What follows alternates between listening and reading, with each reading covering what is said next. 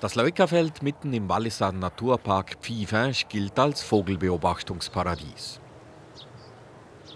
Hier nistet auch der farbenprächtige Bienenfresser.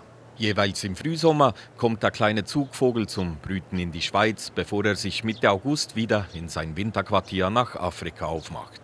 Das sind rund 14.000 Kilometer hin und zurück.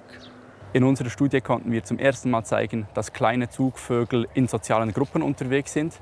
Die von uns untersuchten Bienenfresser haben zwar in der gleichen Kolonie gebrütet, sind aber nicht direkt miteinander verwandt und haben trotzdem einen Großteil des Jahres gemeinsam verbracht, auch in Afrika. Das heißt also, sie sind sozusagen mit Freunden unterwegs gewesen. Für die Studie wurden die kleinen Zugvögel mit 1,5 Gramm leichten Multisensoren ausgerüstet. Dieser registriert Temperatur, Lichtintensität, Flughöhe und die Aktivität des Vogels. Im darauffolgenden Jahr wird dieser wieder gefangen und die Daten, die dieser Logger über das Jahr gesammelt hat, ausgewertet. In Gelb sehen wir die Zugroute von vier Vögeln, die gemeinsam unterwegs waren.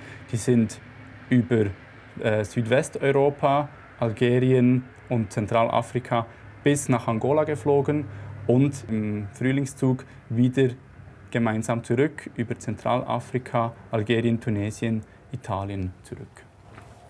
Die Forscher der Vogelwarte Sempach wollen den Bienenfresser auch weiterhin beobachten. Denn noch ist unklar, ob diese Vogelfreundschaften auch über mehrere Jahre hinweg Bestand haben.